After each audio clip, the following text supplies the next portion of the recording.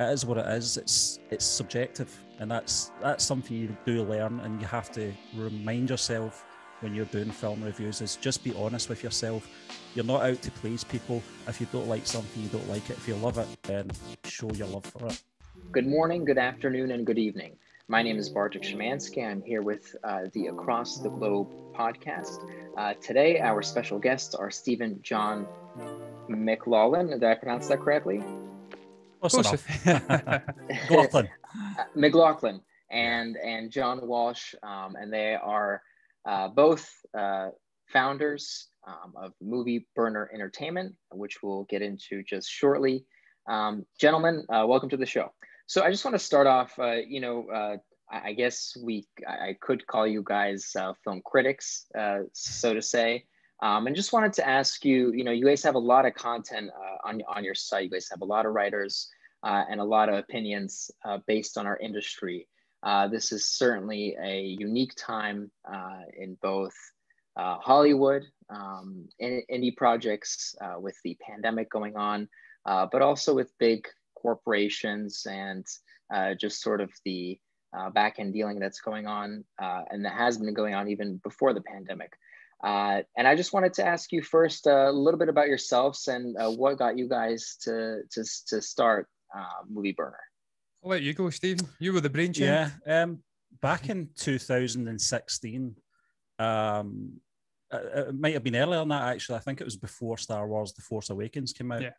We were watching a, a YouTube channel called Collider, and uh, they had this specific show on it called uh, Jedi Council. It was hosted by Christian Harloff and John Campea, some big names in the sort of YouTube um, circles. And what we liked about what they were doing was that they, they were ordinary guys. You know, they weren't like um, what we've got over here, the Barry Normans or the Jonathan Rosses, uh, who were the sort of professional film critics, ordinary schmoes as they like to call themselves. And it was something that really attracted us to this was if, you know, if, if these guys can do it and they're passionate about film and, and entertainment, um, there's nothing to stop us trying this, you know. But it was baby steps, wasn't it, John? For it us, was, yeah. very early on, before YouTube channel started, before we were doing the podcast, we were doing writing. It was just myself, John, and my brother Kevin. And that first year uh, in 2017, we were we wrote about 365 film reviews, one for every day, wow. and it almost killed us. It did. Yeah, it um, tested my love of film. Yeah. I'll tell you, because wow. it was that bad that we we literally couldn't watch the other movies yeah. that the other guys were reviewing. So Stephen would watch, I don't know, some movie. Kevin would watch Moonlight. That's around about that time yeah. the Moonlight uh, La La Land thing happened. Yeah. We, I couldn't watch it, so I've, I've still not seen Moonlight to yeah. this day. We, we really put ourselves into a sort of position. We backed ourselves into a corner very early on, and setting our standards so high with the sort of um, uh, the people that were coming to the site. You mm-hmm. know, they were expecting a review every day because that's what we set ourselves. So, um, guys, we, even get, uh, give yourselves a vacation policy. No, not at all. We didn't. So, listen, being a lover of film like we are, I yeah. mean, it, it, was enjoyable. Yeah. Um, I've probably watched less movies now uh, in yeah. an annual calendar than I have back then when we first started, and that's probably not a great thing. I mean, when we were doing the, the written reviews, we were we were watching probably hundred movies plus a year. Yeah. Now I probably watch a third of that, maybe a half, not maybe not a third, a half of that, and that's probably not a great thing. So in some ways, whilst it was torture, and it nearly did send me over the edge. Nearly, obviously, having to write a, a review, literally watch the movie, have the review ready yeah. the next day. It was enjoyable as well because I was but, getting. But the website whole, was the website movies. was getting good feedback. Uh, Bartek, it was really um, picking up with the views. And we felt, um, you know, it's such a shame because we did have our eye on um, doing podcasting at some point, and we knew that we couldn't do both. We couldn't spread ourselves that thin. Mm-hmm. Um, so that's when we came up with the idea was just putting an advert out and saying to people on social media, would anybody like to join the gang? You know, write some movie reviews for us. We were very lucky in that sense. You know that um, I think it was four guys uh, initially uh, who are no longer part of the team, but they really uh, helped us buy some time to yeah. really look into how to, you know, do our own podcast, how to present yeah. ourselves as well. It was mm-hmm. it was it was really a learning curve. Um, thankfully, John's pulled a lot of those early podcasts off um, our platforms oh. because oh. they were very rough. Yeah. Um, I don't really want to get into the sort of meat and bones of how we produced those early shows, but it was very it was. primitive at the time. You know, but, we just didn't know what we were doing. But you understand that yourself, um, having been doing the podcasting. When you do start right. and you're not used to podcasting, it can be as rough as hell. Hmm. just your manner, your tone, the energy you have to sort of exude. Yeah. And yeah. try to keep and, that up. You have to find that sort of balance. I want to ask you guys because you you guys did did mention that you know you guys felt that you could not only offer opinions but uh, something you know more professional, more of a cr- uh, critique uh, on films that you were seeing. Uh, just for um, you know some of our listeners that may not be fully uh, endowed in in what a film critic is or uh, more importantly, who is qualified to, to be a film critic. So I guess in your own words, um, what makes a film critic and who gets to be a, a, film critic? A very honest person that um, who won't shy away from their own opinions, mm-hmm. not afraid to present those opinions and be able to have broad enough shoulders to take that sort of criticism back from people that may be involved in film. I had it myself with um, a documentary that was um, called Elstree 1976, which was a documentary based oh, on um, the sort of um, background artists um, that were involved in the first Star Wars film. It was a documentary that was very sought after. It was very hard to get come by. Couldn't get it anywhere. Couldn't get it on Netflix or street, uh, any sort of streaming platform at the time. I managed to get a hold of this film. I watched it. I didn't really like it. I wrote the review of it, and the director wasn't pleased with me um, on social media. I said, "Well, it's only my opinion. I'm not saying I'm right. I think I'm right, but everyone think who's got an opinion think their opinion's right." I says, "But it is what it is. It's it's subjective, and that's that's something you do learn, and you have to remind yourself." When you're doing film reviews is just be honest with yourself. You're not out to please people. You can't go on to your platform and say every film is great. You know, if you don't like something, you don't like it. If you love it, then show your love for it. Just being honest, really. And I would add to that that obviously in a traditional sense, certainly over here, obviously the BBC, big organisations like that who have traditionally written about movies, it's very different to the modern day when we do have perhaps maybe some chances as we like to see over here, but not just chances, but people from alternative media, YouTube and little blogs on the, the web, distinctly different beasts. The, the traditionalists, like maybe a Mark Kermode, I don't know if you've heard of Mark Kermode. Um, he's a really famous film critic over here of BBC fame. The one thing that connects them all, even though they are distinctly different, it's different medias. The one thing I think that connects through it all is a passion for film and just that analytical eye when you're watching it, being able to pick yeah. out technical things, flourishes that, uh, that maybe the director's doing, things that the cinematographer's doing, things like that. And as you did allude to, you know, Gianni, and having been reading Gianni's reviews that he's been posting up in the blog, he's certainly on another level again to what we were doing in those yeah. early days writing reviews. His this guy can really take a step back, look at the movie and all its different sort of compartments, if that's the correct word, nuts and bolts, and just ana- analyze it to the, the, the 10th degree. And you've seen that with the likes of Chris Stuckmann on YouTube as well, a yeah. non traditionalist, a new sort of wave of film reviewer critique. The, the, the analysing these small little details this guy can pick out. That for me is what makes a film critic. And obviously, it's, it's going to evolve as time's going on. Everything's evolving from analog to digital. And the traditionalists, the, the likes of, I don't know, perhaps a an empire. And I'm trying to think, Roger Ebert, I think it is the other famous film critique, they will have to move with the times. And likewise, these new wave people maybe can learn off of the old school people as well. I'm mm. ranting off a little bit here. I'm going off on a sort of no. tangent, but the, the, the, one commonality with film critiquing is just that love of film. Being able to take a step back from it, as Stephen did say, even if you are passionate, if it's Star Wars, for instance, and just critique some of the nasty elements in the movie. That I think that's the, the, the main thing.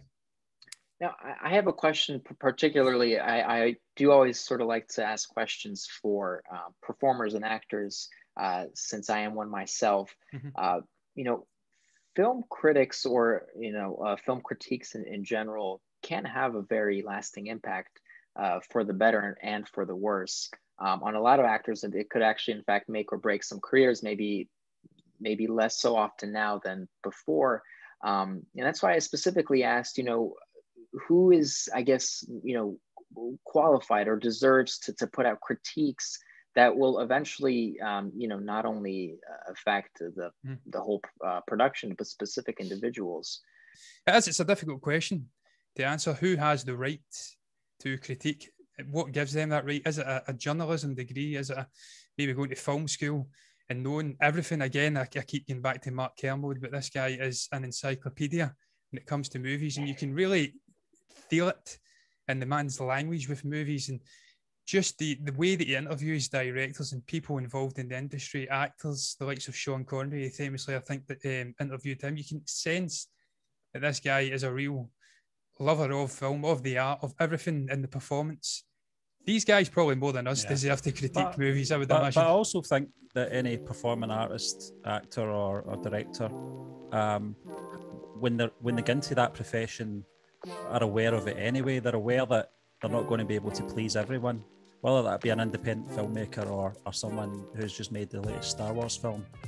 I think they get into it anyway, or they have to get into it with that sort of in mind that they're not, they're not going to please everyone, every you know walk walk of life. They're, they're going to have to take the sort of highs with the lows anyway. Um, but I found um, I, I, spoke to the the director of that film after my review and um, had a good chat about it. Uh, private messaging. Uh, just said, listen, it's it's just an opinion at the end of the day. Um, I'm not saying your film's bad. I actually, um, I felt it was very constructive. I think that's an important thing as well when you're um, you're going into being a critique. We're, we're not very comfortable with that word, though, aren't we, John? We, no. we call ourselves gonks. We're, we're film gonks.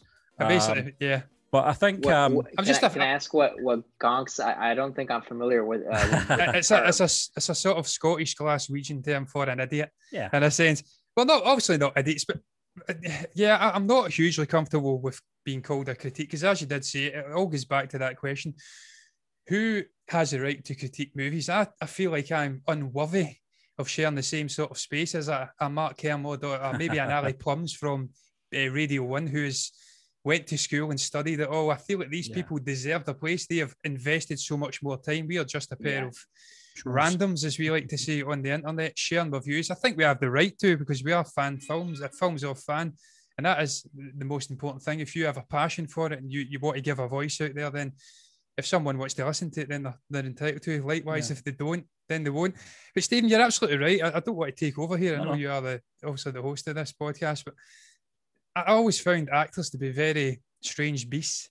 If you like, they, they mm. and you being an actor, you will probably I don't know if you will connect with this, but they seem to be quite complicated. They, they want to have the limelight, they want to have all of the attention and the sort of adulation, but at the same time, they can be quite, how shall I put it, multi layered. They have the sensitivities, the, I don't know, you, you, look at maybe a Robin Williams, and he's probably a shining example of you can have that, that darkness that you, you want to have the attention, you want to have the adulation, but there's a darkness within it that sometimes fuels it.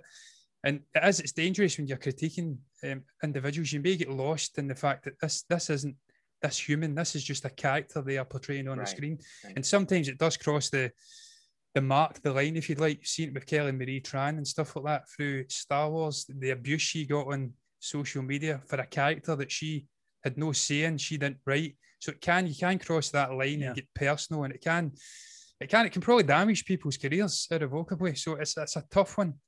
But yeah, I, I, I keep coming back to it. Passion. If you have the passion and you now have that space on the internet to lend your voice, then I think you should have it right. But whether people listen to you is another it's, thing. It's certainly a, a, tr- a tricky question, um, but I, I, think that was a pretty well-rounded answer. Uh, I am very curious, uh, especially since you guys saw a, a, film a day. Do you feel writing uh, right after you see a film, or do you do additional research just to see maybe you know um, what happened behind the scenes, what kind of choices the, the director made, or is it simply based off the hour and a half, the two hours that you see on screen? Also, it depends on the movie. If it's maybe a filmmaker you're aware of in the past, like a Nolan or something, and you understand how this guy operates and what he's been trying to do in previous movies, then you may you maybe want to research. And I've certainly seen it even as recently uh, when we've been doing video reviews. Uh, the likes of Jojo Rabbit, Taika Waititi, I found before we'd done the review again, often watching and studying some of the videos. He's, he, he did videos with Stephen Merchant about that scene where they, they, they go into the house, the Gestapo, and they question Jojo and his sister in the movie. And I find I find that very interesting and illuminating when you actually look into what was going through the director's mind, that the process of constructing this scene and stuff. That can be very interesting. But likewise, in the early days, we we tried so hard, didn't we, Stephen, to not get influenced by other reviewers. No, that, that we was, didn't. We, we try to find yeah. their sort of reviewing technique or, or writing style. And yeah, I felt um, I, would have to lock myself away after watching a film that I was reviewing mm-hmm. because mm-hmm. I felt if I started watching other people's sort of views on it, it was possibly skewing. Yeah, it was yeah. yeah, skewing my my sort of interpretation of the film a little bit. I was starting to see it from their perspective, and I felt it's not very honest of me doing that. I did, and reading reviews on IMDb, etc. And I felt I, I, I, can't do that, uh, you know, because I, I'll end up not copying what they're saying, but their opinions might influence my experience of watching that film initially. I felt writing them right away, you know, after watching the film was probably the best sort of method for myself. I can only speak for myself do you think that watching the let's stick with with movies now since yeah. you know we, we don't see tv and uh, in in the theater um, mm. does it change your perspective do, do you find when you write reviews or do you think you can be pretty objective about that or, or do you feel that there's a different sense of when you see a movie on screen and let's say you're you're focused you know every second um, as opposed to watching it at home maybe you pause mm-hmm. it take a couple of notes it sort of takes you out of it absolutely um, it does yeah when you're watching it in the, the theater it's almost like a I don't know a, a momentous experience, yeah. especially if you're watching it. Like recently, uh, the last movie we actually got to see in a theatre was Tenet with Chris Nolan. It was in I think August. It came out here. Mm. There was a dip in pandemic sort of regulations. We were allowed to go to the theatre. And just sitting and watching it and basking in it. I've seen the movie twice in four days. I was yeah. that in love with it. I know it's um, it's got a sort of Marmite effect. Some people seem to hate this movie. The sound mixing was taking them out of the movie, but there's something about that process of watching it in a theatre that's completely different to sitting in the house. It seems to be more memorable too.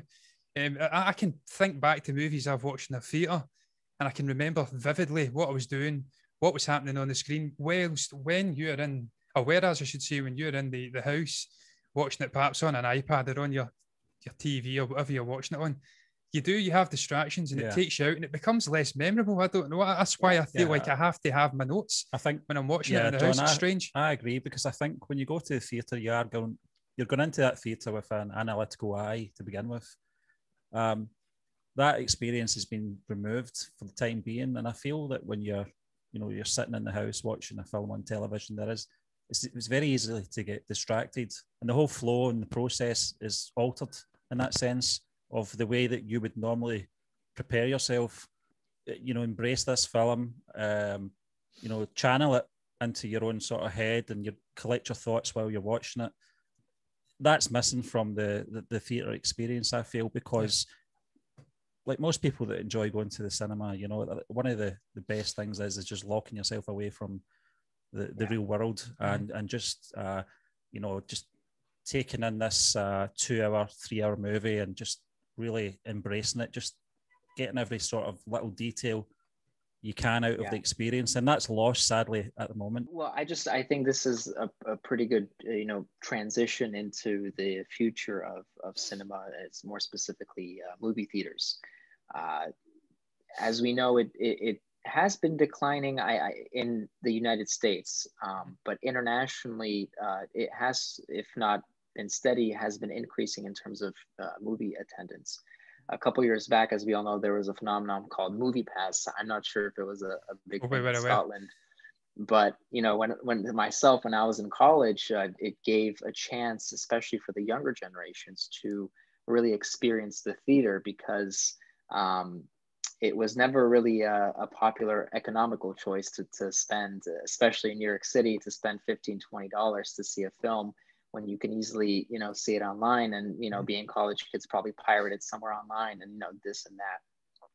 So it was really a time um, that you know you got to go to the movie base virtually for for for free for where you were paying for that kind of a pass. And I felt a lot of my classmates, and, and I'm, I'm happy that I had the experience because we were all seeing movies constantly um, when we had the advantage and now it's you know now we're seeing uh, streaming uh, platforms uh, trying to chime into how the Academy Awards are working, mm-hmm. um, and movies are you know being made differently. They're not being made for the for the big screen. So, what is your take? I, I guess we don't have to uh, you know focus in on the United States, um, but the future of, of cinema and and what it's going to look like uh, after the pandemic. Uh, well, just taking up on the movie pass thing, we do have similar things over here.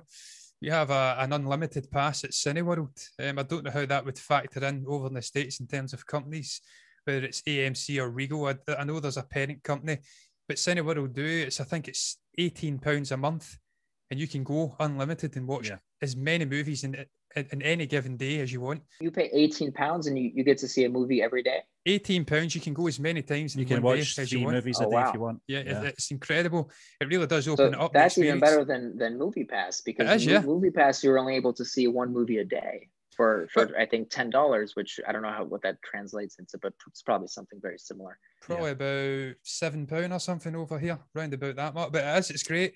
Uh, we were aware of Movie Pass because uh, having watched the likes of John Campea and stuff like that, we were felt in and the sort of rise and fall of this company.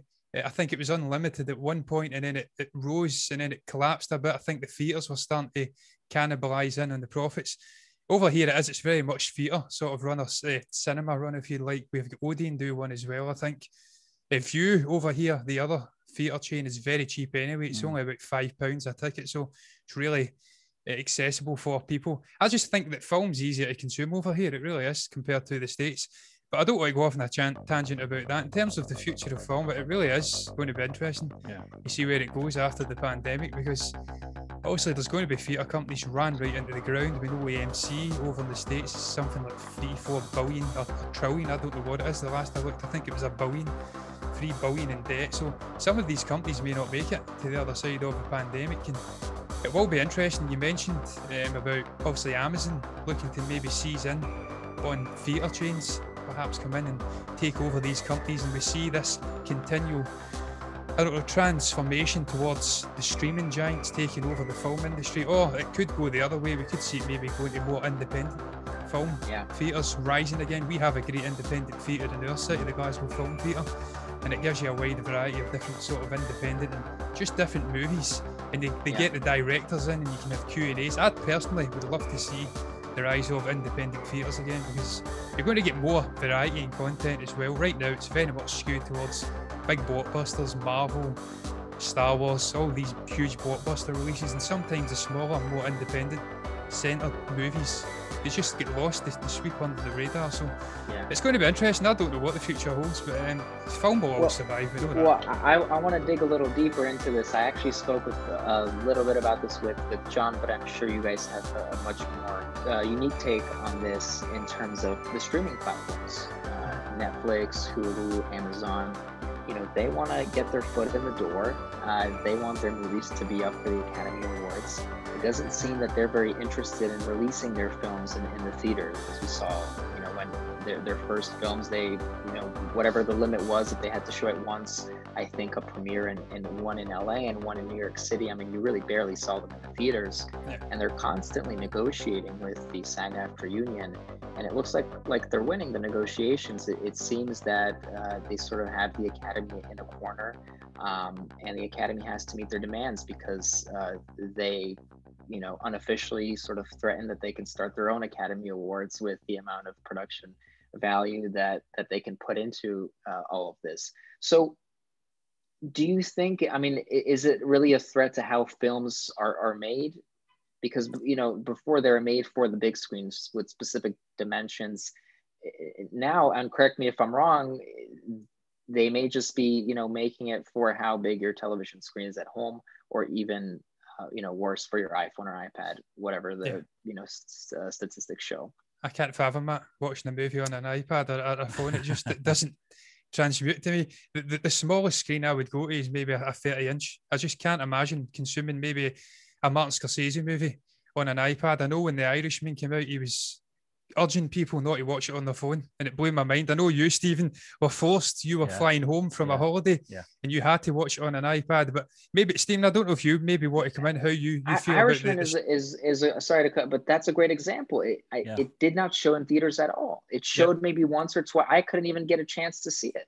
It wasn't there. So so there is some kind of strategy behind it not going to the theaters and i'm not sure what that's going to look like in the long run and the I, irishman yeah. is a good example because that's a solid movie i mean that's a classic martin scorsese I, I think, movie yeah i think martin scorsese might have had some kind of influence in in one of his conditions to taking that film to a streaming platform was to have at least one premiere. We had one over here, didn't we? It was one premiere, one day. Yeah, it was in Glasgow only. Film Theatre. Yeah. Funnily enough. Yeah. Um, yeah, it was really short. Uh, there wasn't a great theatrical window at all. And I don't. I'm not for that. I'm not for these movies moving more and more towards straight to streaming. We've seen it with HBO Max. I hate this dual release. I've spoke about it so many times on the show. I think it's a terrible idea. We've seen Nolan come out. We've seen, I think um, James Gunn came out. Um, who was who was the other guy? Um, Denis Villeneuve, I think, done a, a open letter on Variety, all yeah, against this this dual release. It's lover, terrible. You you do see that sort of um, way of doing it very pointless, you know, especially if you're if you've got access to the theatre. I know obviously just now depends where you are in the world uh, for the restrictions, etc. Mm-hmm. But um, for ourselves, um, it doesn't really appeal to us, doesn't it? Not John, you know, having that sort of dual release. No, it's Dean, because as we did say, we have great unlimited sort yeah. of things. I don't know if that's going to continue though after the pandemic. That's the other thing. Will these theatre companies be able to keep delivering this sort of unlimited card? Will it be not financially viable. But it doesn't it doesn't appeal to me because first of all, we don't have HBO Max over here in the United no. Kingdom, so it's not even something we could have. But even if it was available, I hate the idea of them cutting off the, the maybe cutting the feet from under. If, if that's even the right phrase, I'm terrible with phrases. Cutting the legs out from under maybe the theatre companies because that's always been um, a big part of enjoying film for me. I've said it on shows before with Stephen that's something just within human, this the sort of human condition. We've always loved to go and watch performances. It's very different watching with you know in, in a live theater with everyone, mm-hmm. and then watching alone. You know, you might find something more funny if you have you know people laughing behind you. You sort yeah. of get it. Uh, you know, l- little things like that that really enhance the experience. Yeah, I was about to say one of the most interesting sort of theatrical experiences I ever had was watching A Quiet Place because it was a complete sort of antithesis to what you've just said, is laughing. It was so quiet. Mm. It was just unbelievably quiet. And I, I don't think that experience, and it, it also lent so much to the movie. Being in that sort of theatre, so quiet, you were almost part of that movie. I think that would have lost something uh, hugely if you were watching that on a TV. And I think a lot of what Krasinski was doing in that movie was tailor made for that theatrical setting. Watching this movie, you almost scared take off because you feel like you're part of this world and you'll bring these aliens out that's that's just what movies are about for me. It's about watching the movie on the biggest screen. Since I was four, I was four years old when I went to my first movie and seen my first movie in a theatre. It was uh, Jurassic Park, uh, a Steven Spielberg movie. And since that point onwards, I've just been also obsessed an, with an avid critic of, of what we were just talking about. Yeah, exactly. Yeah, Spielberg's an avid critic. Yeah, well, I can understand um, the, the other argument for streaming services. We've certainly tried to make that argument on yeah. our shows. Yeah. Um, what Netflix is good at. They're not all bad. They, they do lend an opportunity for up and coming creators and maybe creators who are on the decline to, to have an, a chance to make their, their movies. Nick Cage is probably the best example. He's making all yeah. these wacky movies that wouldn't would not be greenlit by a traditional movie studio. Yeah. And then obviously up and coming directors get the chance to maybe make a movie for this streaming service. Whether it gets watched is another thing though, because obviously there's so much content on there. I can't recall the director. I can't recall the movie. It does my nothing. I forget it all the time. But it's um, an Asian American um, director made a great movie a couple of years ago. She was on the Actors Roundtable or Directors Roundtable, and she actually knocked back Netflix. They they offered to make the movie, and she knocked it back and went to A24 instead. But I think that, that that's in a sense what I'm trying to get at. They, they do offer the opportunity for maybe smaller filmmakers and smaller actors to get their, their foot in the door. Yeah, totally agree. Sorry, I yeah, went off that there. I, I, I do think as a counter argument, it is important to note that um, currently, I think there is more of uh, an array of opportunity for younger filmmakers, uh, independent filmmakers, to sort of get their foot in the door. Uh, none, nonetheless, I think this will still be a debate going on as to, um, you know, to the very top for the uh, Academy Awards, what's considered, you know, or, or worthy to be nominated and whatnot. Um, and with that said, uh, I sort of want to go on a maybe a bit of a lighter topic, which is the the Golden Globe nominations that were announced. I wanted to just get your take, and then we'll move on to the to the Oscars. Absolutely. Uh, we actually done a show. We broke it down. I thought it was very interesting. Uh, but first and foremost, it's going to be very hard, obviously, for us to speak about most of the. We, we even says that in our breakdown on the show. Lots of these movies haven't yet released over here in the United Kingdom, so it was really interesting. I'd only really seen the trial of the Chicago Seven. Um, I, I, literally just watched Ma Rainey's Black Bottom the other day, so there's a lot of the movies which are up, the likes of The Father and stuff like that, that haven't yet released over here. But I found it very interesting. Those, those I think those two were on on Netflix. Yeah, yeah, they, were. Yeah, were, yeah, yeah yeah, I literally watched Ma Rainey's Black Bottom the other day. I thought it was incredible. Um, and, and I love the fact that Chadwick Boseman's getting love showered on him now. Um, obviously, sadly, the tragic uh, thing that happened to him a couple of months ago. I love the fact that this guy's getting some posthumous love because he deserves it. He's an incredible yeah. actor. But the, the, one thing that really stood out to me from this, and even the, I think it's the SAG, the Screen Actors Guild Awards, is the snubbing of Delroy Lindo. I don't know what your thoughts are on that. If you've seen The Five Bloods, again, a Netflix movie. um, what your thoughts were on his performance. I thought he was one of the best leading actor performances of last year, and he's been snubbed in both of those big awards. So there was some interesting things sort of popped out. Uh, and this uh, Minari, I think it is, is the other one. Uh, I think it's been put in the foreign language category, and that's creating a lot of controversy. Apparently, that's amazing. But yes, yeah, I don't know if you've got anything uh, to add for the Golden Globes. Um, uh, the funny thing was, we we actually um, we were talking about it on Tuesday show, weren't we, John? Mm-hmm. Um, they just dropped uh, on Tuesday afternoon uh, um, on social media, and I wasn't even aware of the nominations coming out. I don't know about yourself, and I think that I think the the sort of knock on effect from this pandemic has really um, stifled a lot of enthusiasm for the awards season as well. I, I don't think the buzz is there as it once was. And I think it's just because of the sort of lack of um, film that's coming out here in the UK at the moment. Uh, News of the World, the Tom Hanks film's mm-hmm. not coming out here till next week. I think it's been out everywhere else for over a month now. Uh, we, we didn't get to see Parasite, and I think we were the last country Six on months. the planet to yeah. see Parasite in the theatres, wow. us in Ireland. Um, so we, we do tend to have to wait quite a long time to see these award caliber movies, like so of Jojo Rabbit in 1917, which was a, a World War One movie, predominantly set around British forces. We had to wait yeah. to January. I think it was two months after the States.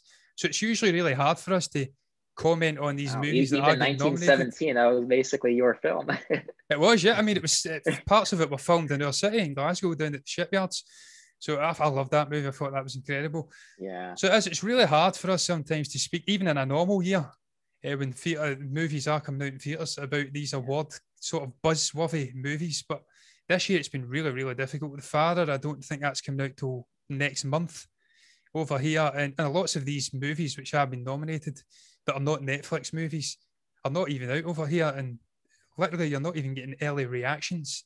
I, I think, Stephen, what you touched upon as well about maybe the buzz not being there, I think you can maybe see that in even the animated category this mm. year. It's terrible the animated movies are, are horrendous. You've got uh, the Croods, I think, yeah, and two movie, yeah. under par Pixar movies. Traditionally, you have amazing stop motion animated movies in there, or some really cool sort of vibrant animated movies. But it's, it's dead in the water this year for me, and. Yeah. I don't think I don't want to say it's all dead in the water and it's it's terrible. There's obviously been some really good movies that have come out in the last calendar year. I mean, there's. Uh, I'm trying to think what the one is. I think it's Leslie Odom Jr. Um, one Night in Miami, is it? I don't know if that's the correct movie. There's ones that I'm really excited to see. Touch a little bit in terms of the the Oscar categories we were talking about. Maybe not so much this year, but um, I feel that international films made uh, a very very strong presence in the past couple of years with films like you mentioned Parasite, with mm-hmm. films like Roma. Mm-hmm. Which now are sort of breaking barriers because they're coming out of that international category and you know, last year it's sort of uh, there was this thing, you know, uh, the Polish film Cold War, which you know I was rooting for. you know was going up against Roma, which was also nominated for for Best Picture, and it was also in some other categories. So, do you think that international films are going to be treated differently, or do you think that the the Hollywood establishment, um, you know, with predominantly American produced films, is going to stay how, how it's always been? What, what I hope not. I hope not. Um, I, I, really do hope the, the foreign language films start to rise into prominence. Um, we, Stephen McDown, a rabbit hole with uh, Boon Jong Hu. I always forget the guys, I always mix the name up. I hope I'm saying it right. It's Boon Jong Hu or Bong Joon Hu. I always mix the two name, the name up. Yeah. But we went down a rabbit hole with this guy's films and he's just sublime. I've not seen a filmmaker like him in my life. Uh, Parasite is by far one of the best films I've seen in the last 15, 20 years. Just unbelievable. The experience, the cinematography, the journey you go on, the clinical sort of way that they make their movies. I love Korean movies. So I sincerely hope he and like-minded filmmakers over in Korea start to rise to prominence.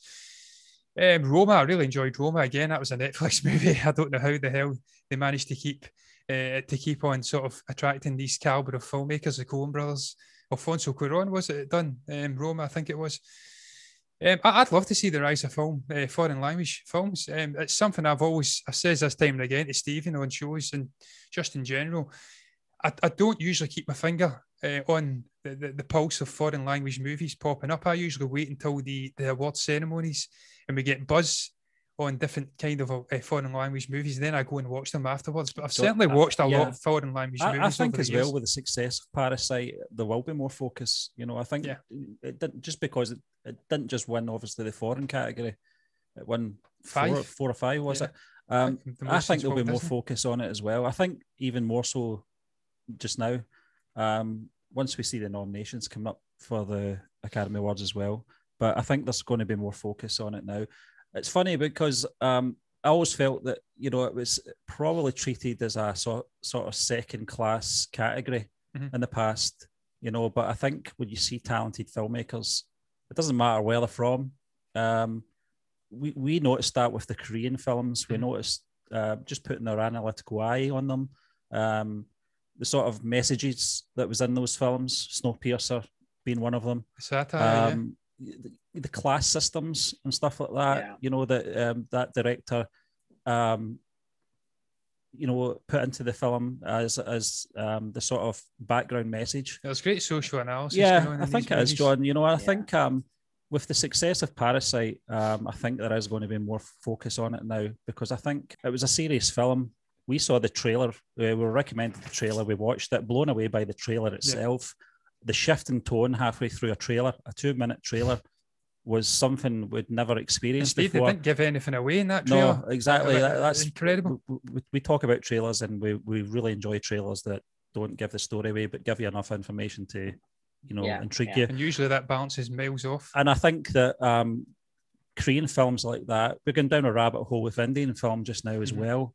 Um, very much a journey we've been going on for the last six months with Indian cinema. Yeah. Learning the sort of different um, regions. Regions, yeah. You know, um, what we've been told. yeah, we've, yeah. You know, inadvertently Hollywood, offended. Hollywood. You know, um, just through our own ignorance. But it's one thing we've always prided ourselves on uh, here at Movie Burners was um, we don't just go down mainstream. We we enjoy independent films. We enjoy foreign films, um, and we begin with an open an open mind. So that's the way we do treat the Academy Awards. We do treat the Golden Globes as well, uh, with an open mind. You know, and I think I mean, more people are like that.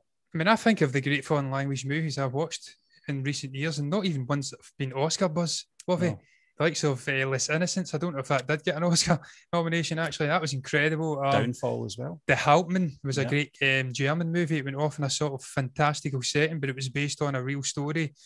The Land of Mine was a great Danish foreign language movie. As you did say, we've been going down this Indian sort yeah. of voyage, watching lots of Indian movies. So we are real fans of foreign language movies when they are yeah. done well. And it's just it takes you off in a different sort of experience and journey. You get to see filmmaking from that sort of regions yeah. point of view. There's different styles. There's different. I keep yeah. saying the, the, the, clinicism. The I mean, even even Bollywood is is its own monster. It's it's technically bigger than Hollywood with more films. Incredible the scale of Indian all the industries, um, sandalwood and Tollywood and stuff like that. I, I didn't know they existed. No, it's like another world and the, yeah. the, the, different styles within that actual subcontinent is unbelievable. So I'm certainly all for the rise of foreign language movies. I hope they can almost, I don't know, at least a, a match the, the best picture category, but I think that's maybe been a little bit too fan, fantastical, if I can say the right word. Well, it's also going to bring the question, you know, um, how many, you know, is is this going to continue to be uh, an American uh, Academy uh, Academy Awards, or is it going to really be truly international? I, I guess we'll see uh, in the coming years. Gentlemen, uh, we have uh, not a lot of time left, to say the least. So I just wanted to ask you, um, going back to Movie Burner, um, where do you see it going? Um, are, are you looking for writers? Um, wh- what do you I- ideally want it to be? Because I, I think uh, for you know for our listeners uh, who are here with us probably want to know you know what you guys uh, have set for the near future. I'll let you go, Steve. Yeah, I mean, without sounding too hippy dippy, um, it's something that I don't think we've really sort of placed a finger on where we see ourselves in five years. Mm-hmm. The most important thing for myself, and I can't speak for John, but I think he'll probably um, share my sentiments, is that as long as we have the passion for film and we enjoy what we're doing, um, yeah. We don't really see, see ourselves um, having some kind of massive studio in five years and you know having 50 writers you know working under us I or anything like that. You know um, it's really just it's always been progressive and it's always been little baby steps for ourselves. We found our own development our personal development over the last four years. When we look back at ourselves from 2017 to now we see how far we've came um, in the learning process of how to analyze a film, how to write it, how to talk about it, how to present ourselves.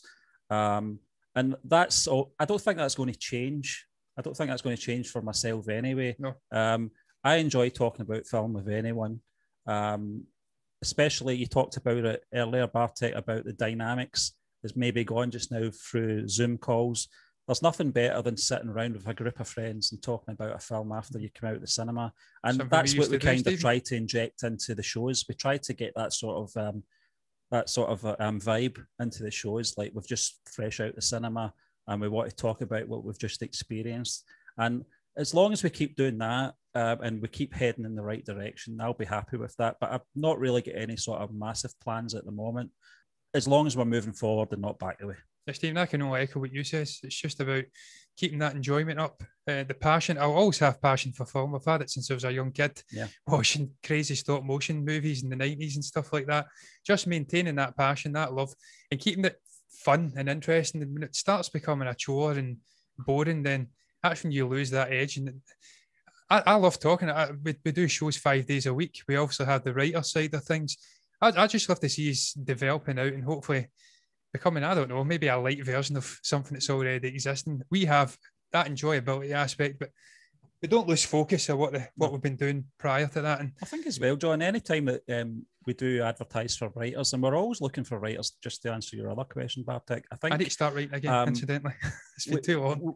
the, the thing they will always ask is, is what style do you want us if we got a word count, um, how far can I go, etc. We, we kind of just sort of take our own sort of um, ethos uh, and put it onto them by saying, just write what you feel. You know, um, we've not got any restrictions here as long as you're not causing too much offence or anything like that. Just be honest in your writing, you know, and, and we welcome that. You know. Uh, and gentlemen, just one last question. It's uh, it's become a bit of a tradition for the show. Uh, very simple question: uh, Your favorite film uh, of all time for each of you. I, will go first because I know it right away. It's Back to the Future for me. Yeah, I'm, I'm going to um, go cool hand. Luke, the, I the, was uh, the, the, first one. The first one. I was t- ten years old when I saw it, Bartek. Um, and although I'm a massive Star Wars fan, and I always have a special place in my heart for Episode Four: A New Hope, as it's called now, I always knew it's Star Wars. Um, Back to the Future for me just has everything in it. It's it, has sci-fi, it has romance, it has the comedy, it has the drama, special effects um, it just has everything, you know, in the chemistry between all the actors, especially Michael J. Fox and Christopher Lloyd for me. You've got Crispin Glover, who's totally out there um, as an actor, uh, a fantastic actor playing George McFly. Um, just everything about it. I'm intrigued by obviously time travel. Um, one of the first films I ever saw was uh, the H.G. Wells mm-hmm. The Time Machine, uh, the George Pal movie, um, starring Rod Taylor. And since then, I had this fascination with that sort of um, genre. Back to the Future for me, I, just that came out at a time when I was just very young. Uh, Marty McFly was sort of the guy that I wanted to be, a very cool guy on the skateboard. Loved the soundtrack as well, Alan Silvestri's soundtrack just everything about it. For me, it's just Cool Hand Luke. Um, I love Paul Newman. I love his sparkling blue eyes, the charisma that guy held. Just an amazing movie for me. Just that study of a really troubled guy, a guy that seemed to have it all. He had happiness. He was the cool guy, and just that human condition again, studying it. How this guy was a deeply troubled and complex person underneath that sort of gleam of happiness and positivity, and just that that line at the end. Um, you, you, you said Paul Paul Newman. Paul Newman, yeah. In in which film? Cool Hand Luke. Oh, okay. Yeah. Yeah, Cool Hand Luke. It's uh, what is it? We have a fail. What we have here is a failure to communicate. That line at the end. It's just for me. I've watched it so many times, but look at the. It's always really hard to pick a, a favorite movie. I could go through the list of maybe two dozen movies, and how, they could all you, hold that sort of special place in my heart. How do you manage? And completely uh, opinionated on my end, and I probably shouldn't be ch- chiming in again, but how do you manage to accept the ending of that movie? Do, you uh, do you do you wish it would have ended differently, or or do you? I thought it was perfect. I just thought it because this guy was so troubled, and with also the loss of his mother, that was a sort of tipping point. He'd nothing else to really live for. He was always going to be a guy who was in and out of jail, incarceration after incarceration. He was just a troubled soul who had it all, but he just didn't have that perhaps that final sort of polished part of his personality that could allow him to live a, a wholesome life away from jail and trouble. He always had that maverick, dirty sort of part of his personality. I don't know if dirty is the right word, but I just felt that was the, the perfect ending for me. Well, uh, I I enjoyed both those movies. I actually I didn't expect those answers from either of you, but um, very very uh, very interesting insights.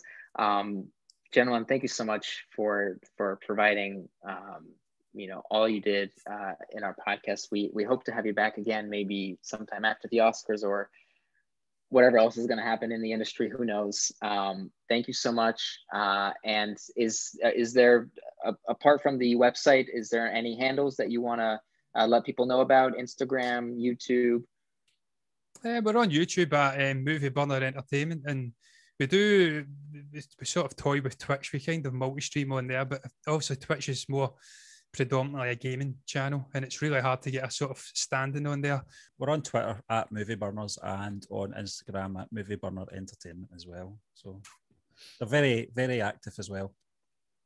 Platforms. Yes, try to be. Thanks to Kevin. I'll let you deal with that. Well, Kevin's our, our fellow movie burner. He's my brother. He was the other founding member, and he does a lot of the, the background work with the, the website for the blog side of it um, keeping that fresh, and obviously the social media platforms as well. Stephen, John, thank you so much. Uh, enjoy your Pleasure. evening. Uh, I know it's, it's beyond evening uh, over there in Scotland, but uh, enjoy your night. Uh, and uh, we hope to speak to you again. Thank you so much. Thank you. Thank you.